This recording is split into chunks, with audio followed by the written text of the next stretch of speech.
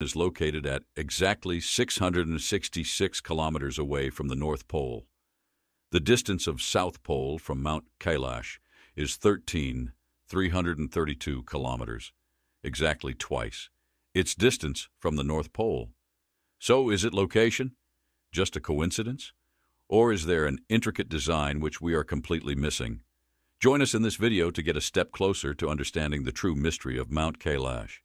The mountain is located in western Tibet and has an altitude of about 6638 meters. The surrounding area of the Kailash mountain is filled with our inspiring natural beauty. Your energy level or your mood instantly changes when you approach the mountain. This is the reason why millions of people from all across India and the surrounding regions visit this site every year. Religious ascetics known as sadhus like to indulge in their meditational or spiritual practices in this area.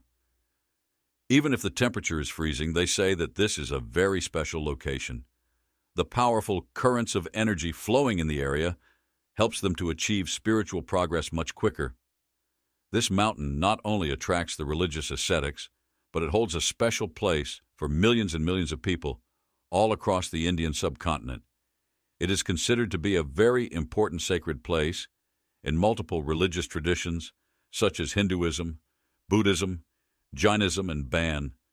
Followers of Hinduism believe that one of the supreme gods in their pantheon, Lord Shiva, resides there. Hindu scriptures say that he is the Adiyogi, or uh, the first yogi in the universe. The secret knowledge of Tantra and Yoga came down from him. Ancient Indian religious texts claim that Mount Kailash is the gateway to heaven, or Swargaloka, from where you can travel to the realms of gods. According to Jain scriptures, this mountain is the site where their first Tirthankara, or the first supreme teacher, attained moksha, or liberation.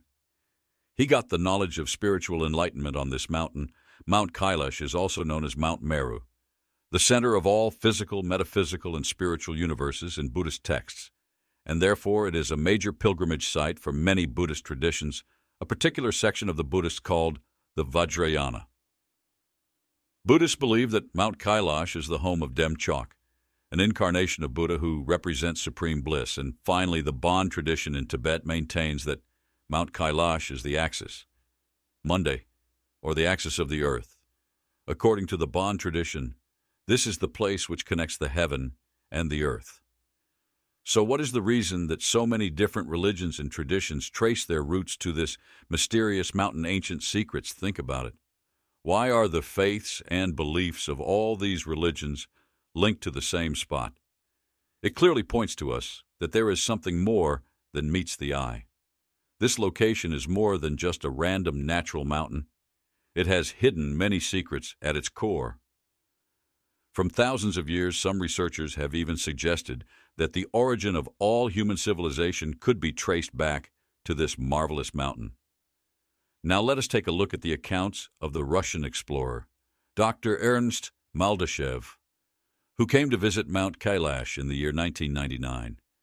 He has given a complete detail of his experiences in his book, Where Do We Come From? Not only the Indian cultures, but the Europeans had a great interest in this mountain, the German occultists in. However, as far as any record shows, the current Chinese government doesn't care about any religious sentiments. It's officially atheist. So, what could be the real reason they are not allowing anyone to explore the area? But don't feel bad if you aren't allowed to climb Mount Kailash, because you might not want to. This mountain is not the highest in the world, still, all attempts to climb it have been met by utter failure. One of the very strange things observed in the area is high magnetic field activity. If you took a compass to this region, the needle will begin to flutter, and it won't point to true north. That is why landing on the mountain by using a helicopter or drone is also not advisable. Another fascinating thing in the region is the existence of two lakes Mansarovar and despite being just two miles apart, their characteristics are completely opposite. Mansarovar is a freshwater lake, while Rakshastal is a saltwater lake.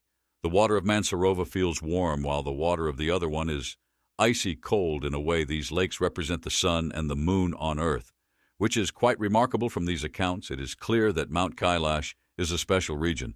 But unfortunately, all the expeditions and research on the mountain has been banned now.